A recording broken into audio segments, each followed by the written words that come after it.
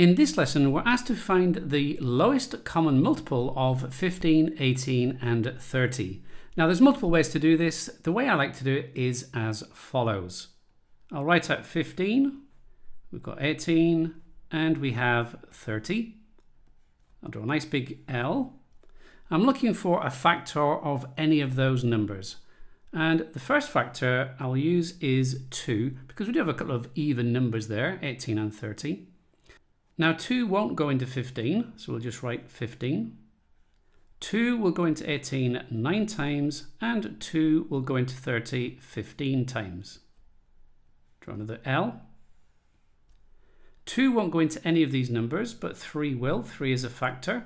3 is a factor of 15, going 5 times. 3 is a factor of 9, goes in 3 times. And 3 is a factor of 15, goes in 5 times.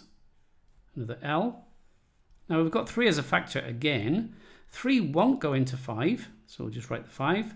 3 goes into 3 once, and 3 doesn't go into 5, so we'll just write the 5. And then the last factor is 5. 5 goes into 5 once, won't go into 1, so we just put the 1 there. 5 goes into 5 once, and once we've got three ones, we can finish. So the lowest common multiple well, the way we find that it is the product of these numbers here. So we've got 2 multiplied by 3, multiplied by 3, multiplied by 5. That will give 90.